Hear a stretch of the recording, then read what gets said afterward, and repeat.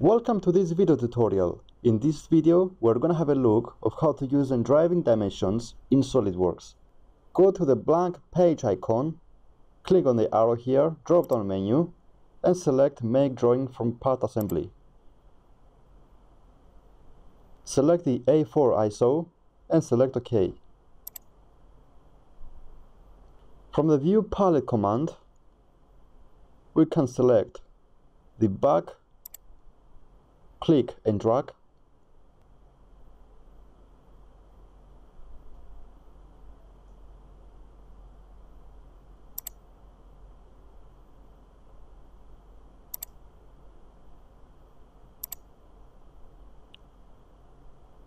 Select OK.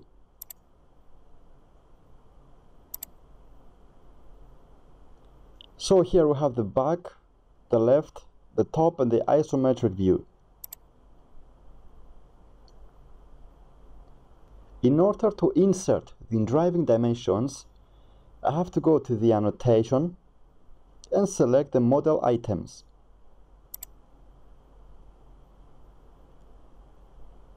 From source destination, I have to select the entire model. As soon as you select this, press OK. And the dimensions are automatically imported into the drawing file. You can always update any dimension by double click and set your preferred value. Let's say 5. Select rebuild and select OK. So as you can see, this hole changed to 5. So if, if we go back to the 3D model, it has changed as well. So that's why it's called driving dimensions because they drive both drawing and part file at the same time.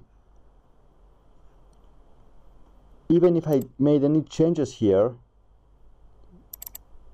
from 5 to 25, select rebuild and OK let's go back to the drawing file. As you can see it changed as well.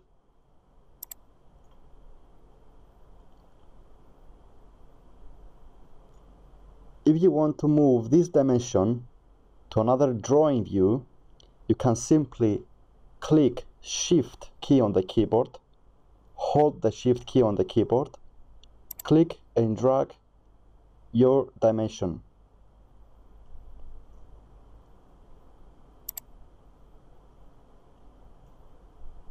as I'm moving the, my cursor at the edge of this dimension, you can see that they get different symbols. You can see that now change to parallel. By clicking now and moving my dimension, I can set a parallel dimension for this measurement.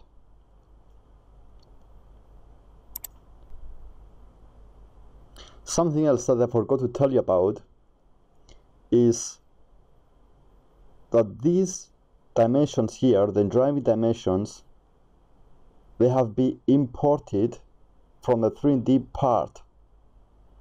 So while I was creating the 3D part here,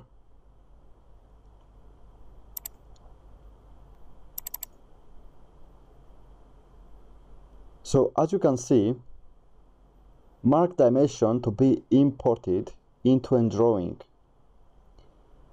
This symbol is already pre-selected.